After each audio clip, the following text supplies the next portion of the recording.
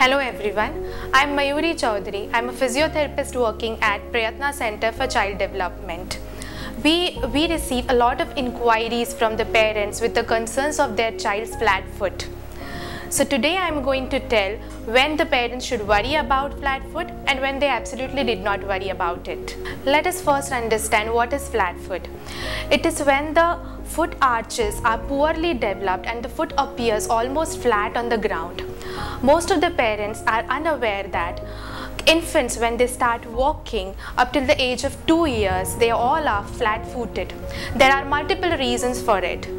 First is the control of their brain over their muscles. It is not yet that mature.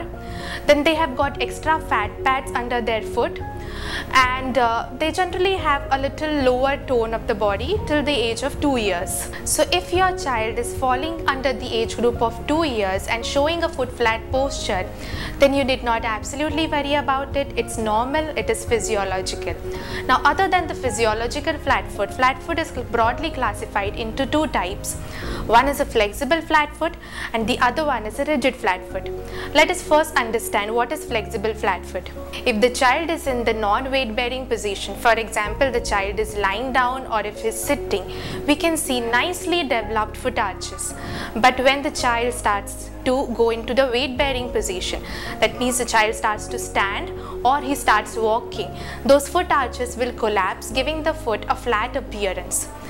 Now mostly in flexible foot flat type, the child will not complain of any symptoms such as pain or any discomfort. But in only some cases, after prolonged activities, after uh, long hours of running or he engages more into the outdoor games or if he's been standing for a long time, then he might complain of pain which is diffuse in his foot and the lower leg and for the kids who are in the adolescent age group those who are in the teenage group this pain might even extend up to the anterior part of the knee or even the back.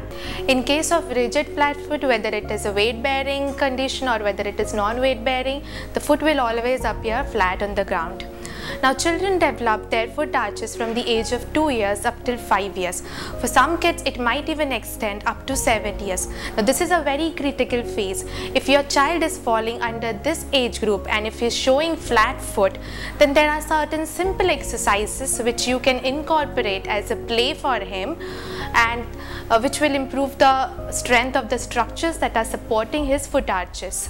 And there are some common mistakes that the parents make unknowingly which actually reduce the opportunities of the child to develop those structures. So in my next video, I am going to share with you what are those exercises and what are those mistakes that you can avoid to help to give your child a better foot alignment. Thank you.